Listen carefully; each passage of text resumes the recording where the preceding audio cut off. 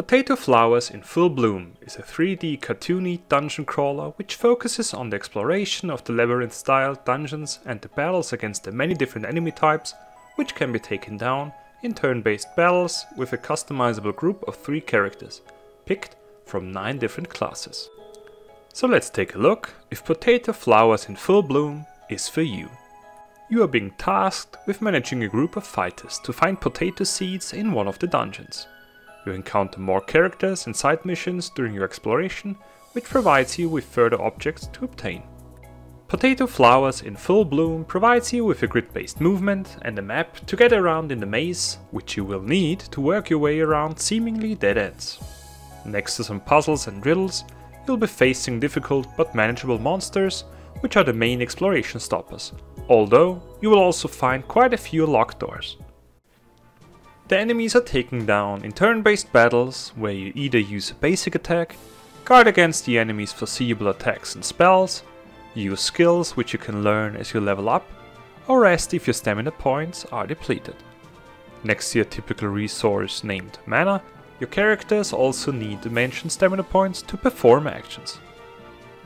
To win these fights, you need to utilize your enemy's weaknesses and care for their strengths by picking your party members and adjusting your playstyle.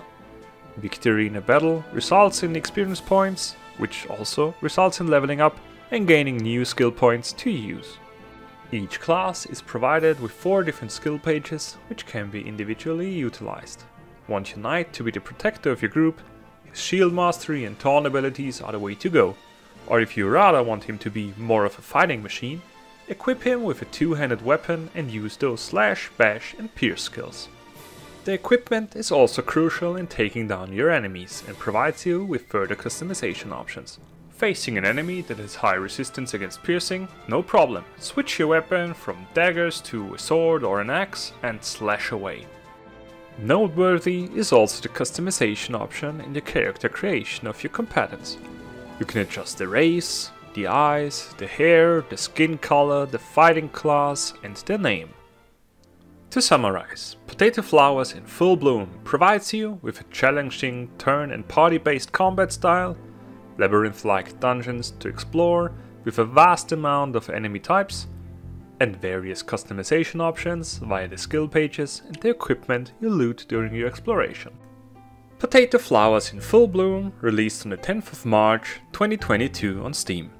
And if you liked what you saw, then this game is definitely for you. Thanks for watching and goodbye.